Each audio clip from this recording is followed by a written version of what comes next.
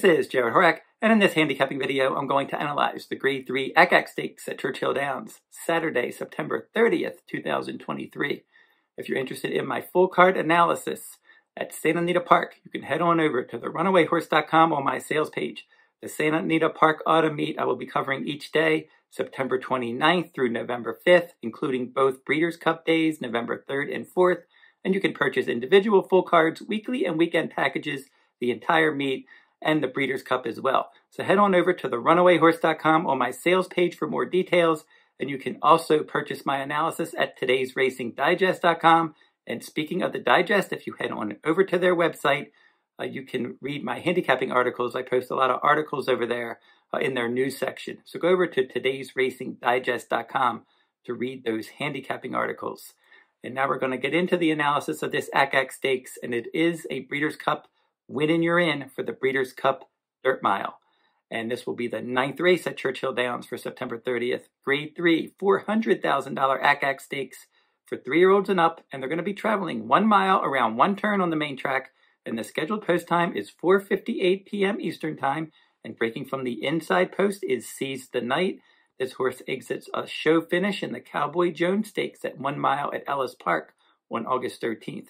Overall record, of 4 for 11 with two third place finishes, and has won at Churchill Downs before. Likes to rally off the pace, uh, like, like in that uh, Cowboy Jones Stakes uh, after the half mile mark. This one was seventh and last and was able to rally to finish an okay third that day. And now from the inside post will probably save ground from off the pace under Jon Court. Number two, Oh Bezos. This one is a son of Orb. He's only run 13 times, four wins, two seconds, and two thirds. Some may remember this one from the 2021 Kentucky Derby Trail. He was fourth in the Risen Star Stakes that year, third in the Louisiana Derby. He was fifth of 19 in the Kentucky Derby, and then he was second in the Matt Winn Stakes. Um, and that was a, a decent effort that day. That was May of 2021 at Churchill Downs in that Grade 3 race. Uh, then after that, he won an optional claiming race at Fairgrounds, January 2022. And they tried him in some stakes races. The Mine Shaft, he was fourth. They turned him back in the Grade 3 Commonwealth Stakes at Keeneland in the slop, and he rallied to finish third at seven furlongs. He won an optional claiming race at six furlongs last fall at Churchill Downs.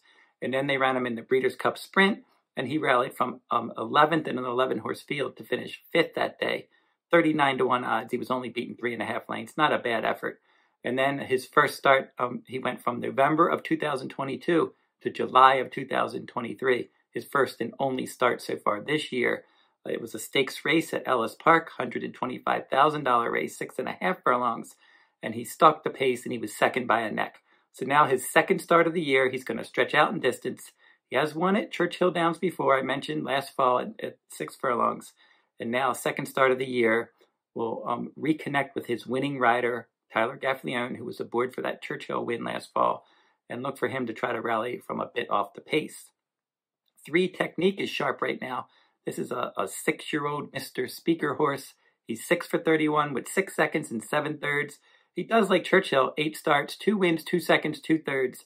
He's run 11 times at this distance with two wins, three seconds, and four third place finishes. So nine of 11, he's finished in the money uh, at this one mile distance, and he's sharp as well, and he's fresh. Grade two Nerud Stakes at seven furlongs. On July 1st, he won that one from off the pace, and prior to that, he won an optional claiming race under uh, Saturday's rider Rafael Bejarano in a one mile uh, Churchill Downs race on uh, May 27th. So he's one that he's sharp, he can rally from off the pace, fairly consistent. We know he likes the course and distance, and reconnecting with his winning rider. There's some things to like here. Stage Raider. Uh, this one, he's only run 10 times. He's a five year old with four wins and three seconds. And he won last time out. He won that Cowboy Jones Stakes that I mentioned uh, with the inside horse Seize the Night, uh, finishing third there. Stage Raider upset that race at 19 to 1 odds, stalking the pace. So now, can he run two alike? He was in the Chad Brown barn. Prior to that, Cherie DeVaux took over as his trainer last time and he struck right away for his new trainer with a good effort. And he's won a couple times at this one mile distance. He's got some stalking speed, and I wouldn't be surprised if he was competitive under Brian Hernandez Jr. Zozos is next for trainer Brad Cox. This is a son of Munnings, and he's 6 for 10 lifetime with a runner up finish. He's one for two at Churchill, and he's two for two at this one mile distance. This might be his distance. He won three in a row earlier this year. A March, um, he won a one mile, 70 yard race, rallying from off the pace at Fairgrounds. The second and third place finishers were next out winners, and Zozos was the next out winner in the Knicks Go Stakes, a restricted race at this course and distance on May 6th. And he controlled the pace there and was able to hold on and win by three quarters of a length. So he did get the lead. He had the lead. He lost the lead, but then he took it back and he was able to uh, grind out that win by three quarters of a length. The Hanshin Stakes at Ellis Park in the slop in July, he won that one going wire to wire.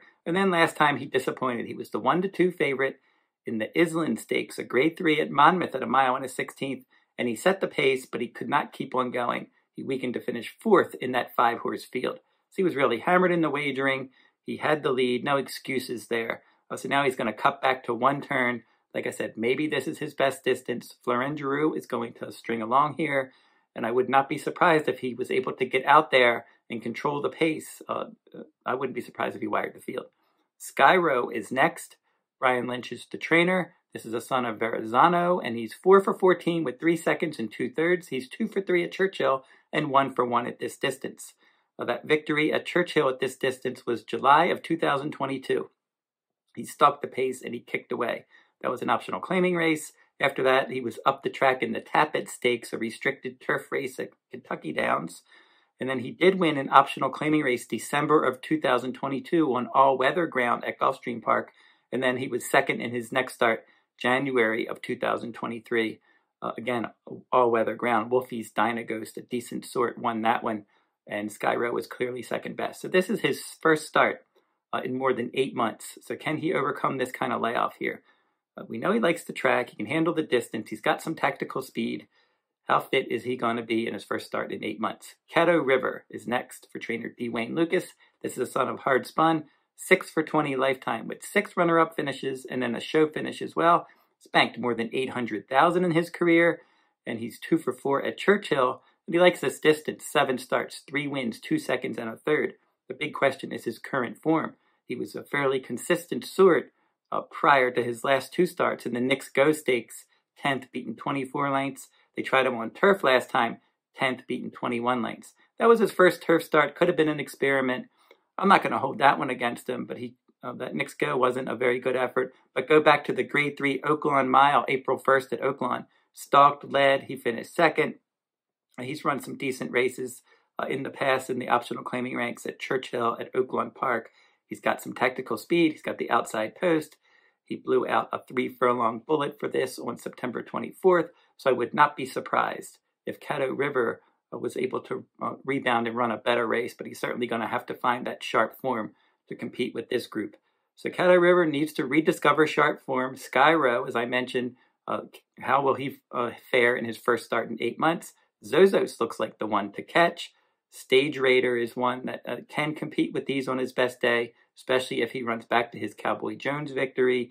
Three technique is sharp and fresh. He's consistent. Uh, you have O Besos. He's one that uh, exits a neck vic, uh, neck defeat and a decent effort, and then down on the inside Seize the Night coming off that third place finish in the Cowboy Jones. Competitive race here can go a number of ways. It depends on the pace. I think there is a chance in here uh, that Zozos gets out there and controls the pace. That's certainly a possibility, but I don't know how much value he's going to offer. I do like three technique to finish somewhere in there, but I'm going to go with the two O Besos as my top choice. I just could see him improving in his second start of the year.